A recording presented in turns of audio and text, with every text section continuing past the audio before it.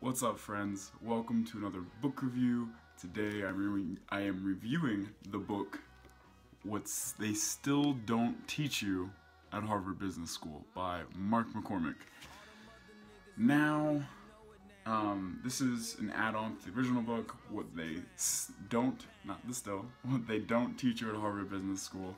Um, and if you haven't guessed, this is a very business-oriented book. Um, that is Mark's background. So a little background on Mark. He is a upper-level executive. He's really high in his business, and he um, manages and works with a lot of sports stars. So he worked with Arnold Palmer, uh, Jack Nicklaus, um, golf, tennis, a bunch of other people, and he worked within an agency that managed those people and helped them work with advertisers. So that's kind of his business background. Um, so let's go into the structure of this book. So this book is set up in by varying topics, and as you can guess, since it is a business-based book, there are very business-heavy topics such as you know selling, negotiating, um, getting ahead, entrepreneurship. Um, let me see if I can find specifics. Getting organized, communicating, managing, topics such as that that you would normally think about when thinking about a uh, heavy business bias. So, this book is going to be beneficial. Well, before I get into the benefits, let me talk about his style of writing, which I think is very clear. Um, so, when I first started reading this book, I felt like he was very rigid and it was, I don't know, a very stereotypical business type where, you know, it's like, this is how it is, and that's because I know. And after a while, you kind of fall into this uh, comfortable nature how you're kind of talking to Don Draper. So, if you don't know who Don Draper is, um, he is the character portrayed by Matt Heim. I don't know how to say his last name with an H. um, but he's the lead character on Mad Men. And he has a swagger about him. Like, he knows his way around the conference room. Um, so he kind of has that map. So Mark McCormack kind of has that swagger when he's writing this book. He's not fresh off the boat, you know, when it comes to business. He understands what he's talking about. He's been doing it for years. He's worked his way up. He's worked around exec um, high performing executives. He's observed, taking notes. This is his second book, so he obviously has enough to fill two books, so he knows what he's talking about. But uh, he's not Don, so Don, Don Draper-ish, that or Don Draper-esque, that he's you know talking about infidelity and, and, talking about being a misogynist and chauvinist and all that stuff. So take all the negatives, take all the old school um, negatives behind Don Draper's style, and just focus on his swagger in the business in the conference room. And that's really what you're getting in this book. That's the type of style you're going to be reading, in my opinion. Um, so now let's jump to the benefits of reading this book. So if you are in a business field, accounting, marketing, advertising, anything like that, this is going to benefit you. Like without a doubt, this book is going to be great. Um, I mean, I haven't personally been in a business setup, but I feel like a lot of the stuff it isn't.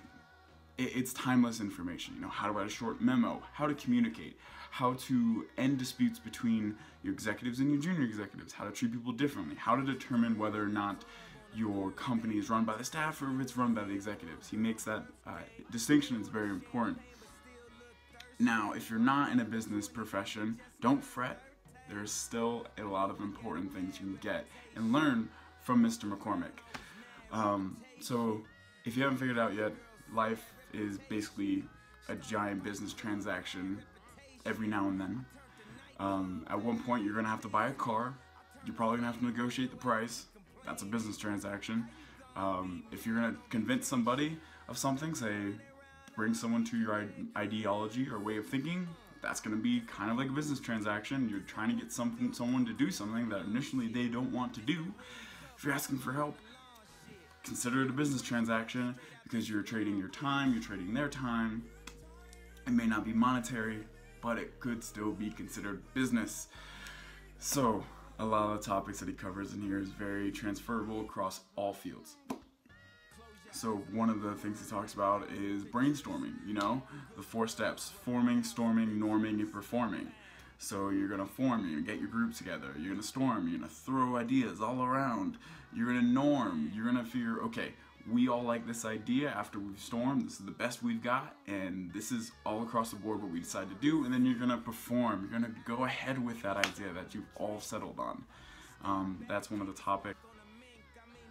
One of the ideas he talks about in this book that I think is transferable to business or whatever profession you're in is the four types of people you're going to work with within an organization. So he defines them as champions, plotters, dabblers, and maniacs. So let me describe what those are. Uh, the champions are the people that he uses graphs, so I'll try to do it, show it for you. Um, champions are people that, you know, improve their performance, they drop a little, but improve their performance and drop, you know, gain more technique, fail once, fail or fail a couple times, gain and gain. But they're on a current upslope and they have minor setbacks every now and then they learn from and they grow. So those are your champions. This is like the stereotypical champion champion mindset, you know, you fail, but you pick yourself up by the bootstraps and you keep on going.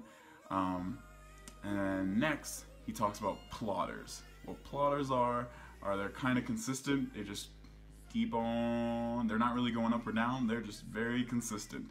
And he says these are the people you're going to want in positions where uh, it might not be the most exciting. It might not have the most influence, but it needs to get done. Um, I'm sure you've heard the term ditch diggers. You know, these are people that just like do what needs to get done, the oil behind the group, uh, make sure it runs cleanly. You couldn't do without them. You need those people in your organization. The third people he talks about are dabblers. Now, as you can probably guess, dabbling is, you know, we're to put your toe in this idea and we're to jump out and put our toe in that idea and then we're to jump out. Um, we probably did this as kids, you know, we are playing t-ball and I'm to play t-ball for three months. I don't like t-ball anymore. I'm to play soccer. Oh, I love soccer. Going to play for two months. I don't like soccer anymore. You know, you dabble in things and then you get out. So you're never really in something long term. Um, and then the fifth, or whoa, five, no, the fourth person he talks about are maniacs. And the maniacs are like dabblers on steroids. They're so up and down that they're really inconsistent. They're hard to work with. They're hard to control. Um, and he says, really be wary of maniacs. Um, I'm sure uh, if you're a maniac, you probably aren't too solid uh, career-wise. You might need, if you identify as a maniac, you might want to sit down and really reconcile what you want to fix and what you work on, want to work on. But uh, I'm not going to go into the whole therapy, what you should be doing, because I'm talking about this book. And that's the focus. So a little bit longer review, but I hope this has helped. And uh, I would highly recommend this book to anybody, whether you're a business, you're in a business profession, or whether you're in any other organization, any other profession. If you're a student, you got to work with people. Uh, working with people is key to business, and business is key to working with people. So I hope this review has helped you. Um, give it a read. Uh, if you know someone that's getting ready to read this book, send this review their way. Um, but yeah, keep reading, keep learning, keep focusing, and keep on trying to know more than you did yesterday. Uh, this is me signing off.